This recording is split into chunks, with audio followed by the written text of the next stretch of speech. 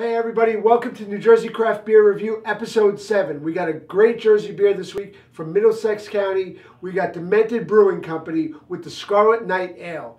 With me as always, my cohorts, Chris Anucci, Dan Tantillo. Danny, what do we got this week? So we got a red ale here. It's a 5.8% ABV, uh, 40 IBU.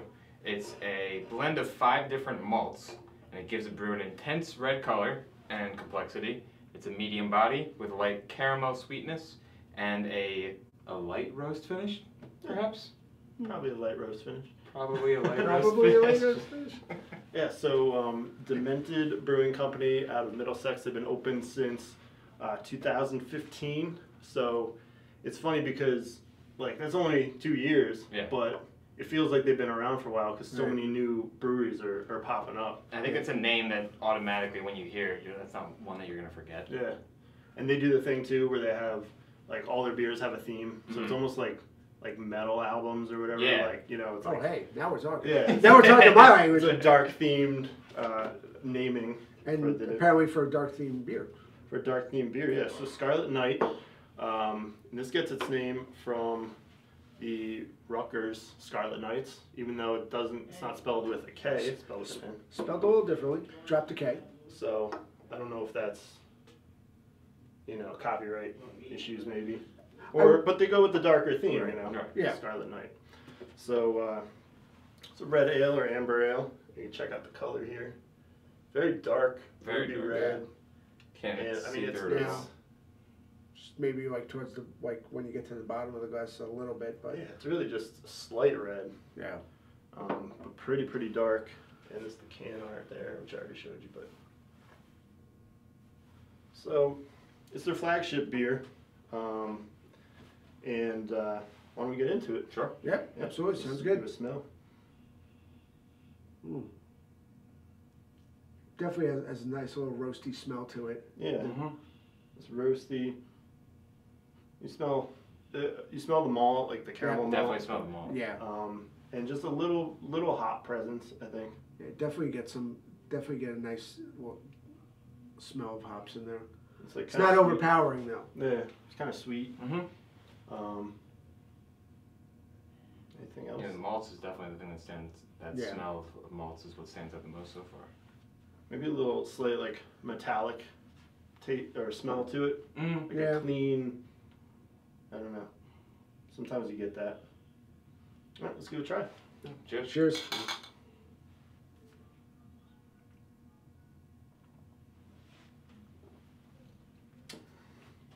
Oh wow. Mhm. So This is good. It doesn't taste as dark as it looks. no, Yeah, it's, it's like definitely- medium, yeah. medium body, right? Definitely. Yep.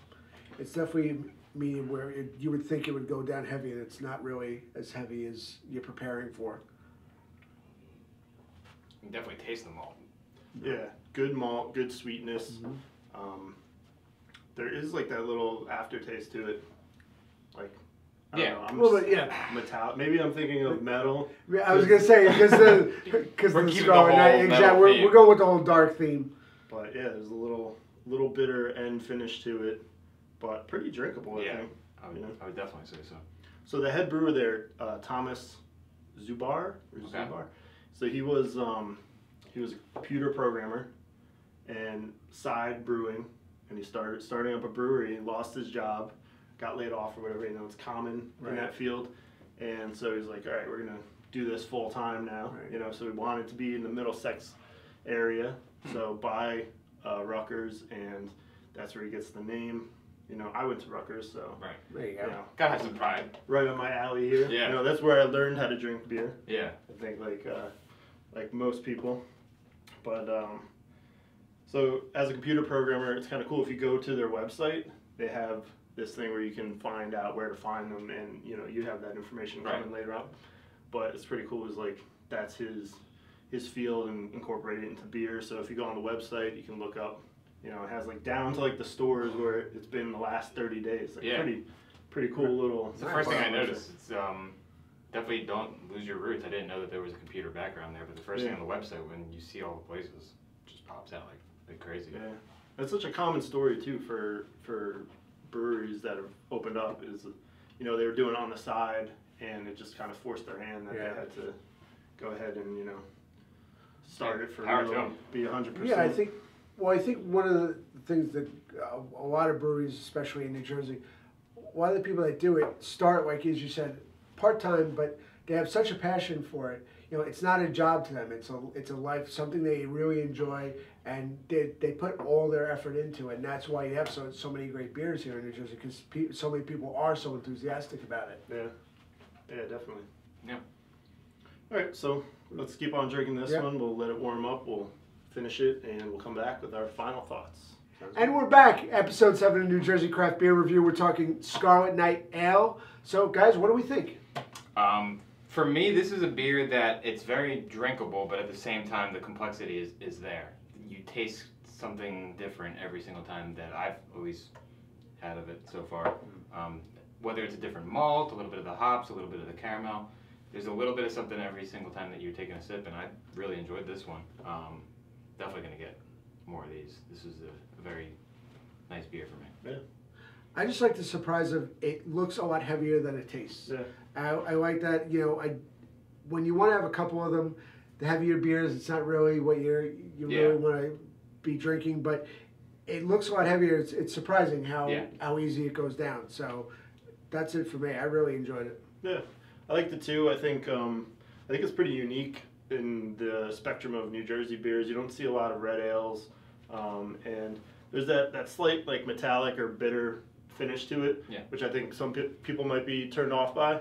But you know, as it warms up, I think you get used to that, and it gets better and better. Yeah, I don't think it's anything that's necessarily just for beer drinkers. I Yeah. think that you can give this a maybe not as heavy as a drinker as say us, but Right. um, they would still enjoy it. Um, Speaking of New Jersey beers, Yeah. I mean the whole show is about New Jersey beers, but right now this weekend is the semifinals Yep. of our craft beer brewery bracket. So um, if you click right up here, it should pop up, and uh, you can go vote this weekend, and then next weekend it'll be the final two, and we'll see who's crowned the best brewery in New Jersey as voted on by you. So Got some Definitely- interesting battles. So cast your vote. thanks for doing that, guys. That was, Oh, uh, that's definitely. really fun to be a part of. anytime. Um, As for this beer, it's uh, brewed again by Demented Brewing Company in Middlesex, New Jersey. It's distributed all over the place, including Bobcat Liquors in Deptford, Super Wine Warehouse in Paterson, and Clayton Liquors in Clayton.